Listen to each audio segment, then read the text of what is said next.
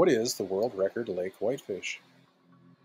The world record lake whitefish weighs 14 pounds, 6 ounces, caught in Meaford, Ontario by Dennis Laycock on May 1984. Like and subscribe.